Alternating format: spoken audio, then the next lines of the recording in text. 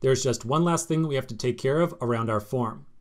The one thing we haven't discussed here is what we should do with a user after they make a campaign. Personally, I think that after a user uses this form to make a new campaign, we should then automatically redirect our user back to the root route of our application. If we do that, then after making the new campaign, the user can go back to the root route, see a list of all the campaigns, and see that their new campaign has been created.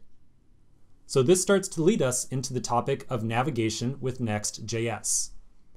Navigation comes built in to Next, so Next has its own navigation system that we can make use of. However, it has one big problem associated with it. So I'm first going to tell you what that problem is, and then I'll tell you how we're going to solve the problem. So here's the problem with Next.js's routing system. We've been talking about all the different pages that we were going to have inside of our application. And at this point, we've made the first two pages on this table right here.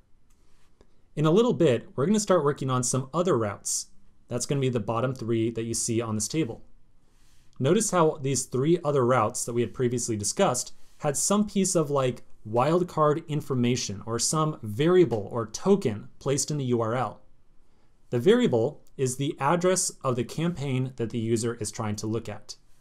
So in one case, a user might be trying to look at the campaign with address 8147.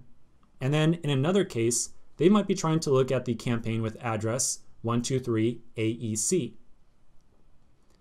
So we want this piece of the URL right here to be able to change, but even if it changes, we want to still show the respective page that we have created for it.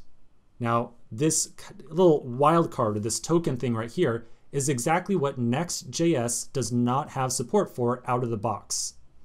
In other words, Next.js cannot be used by default, like right out of the box, for dynamic routing. And that's what we're trying to do right here. So instead, we're going to use a little helper module that helps us set up dynamic routing specifically inside of a Next.js application. I've already pulled up the documentation for this helper module. Here it is right here.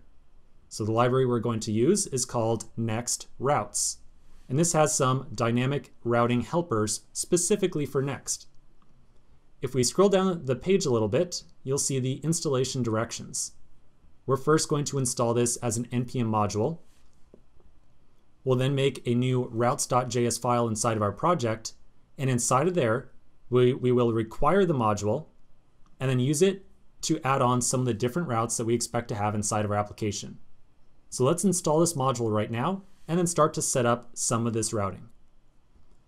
Back at my terminal, I'm going to install the module with npm install dash dash save next dash routes, like so.